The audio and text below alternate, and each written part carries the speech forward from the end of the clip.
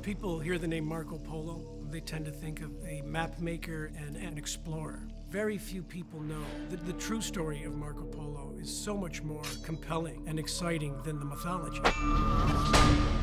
Rolling, rolling. Marco. And action! In the beginning of the story, Marco is 17 years old. His father was a great merchant, so his dream is to become a great merchant as well. Marco travels with his father on his next trip back to China.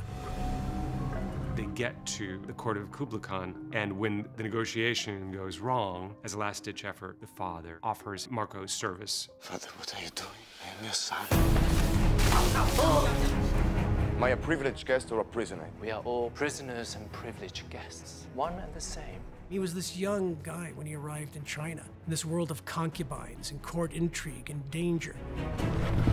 Marco has this passion for people and cultures, and he fell in love with this amazing world. Kublai described him as having uncommon powers of perception. You have a clever mind for a Latin. He valued this, and he gave him an education. He prepared him to be an emissary. Marco finds in Kublai a sort of father with a lot of things that he can teach to him. Marco Polo was an Italian. He's a fearless global traveler, and so was Lorenzo. So he tapped into it. Marco Polo. What does that mean? The great explorer. He has this brooding quality, but also this fire. If you're lying, I will come back. He is a perfect balance between storyteller and badass warrior.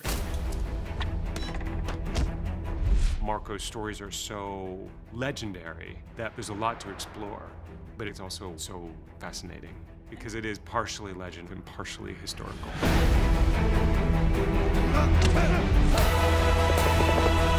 We are going to take audiences on an action packed Silk Road journey.